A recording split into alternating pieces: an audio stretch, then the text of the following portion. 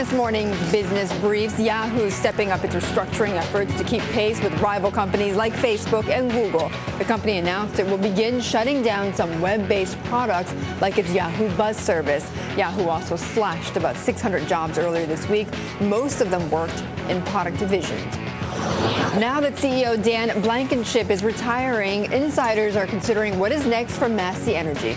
People with knowledge of the negotiations say that options range from selling out, which is unheard of under Blankenship, or taking over a competitor, International Coal.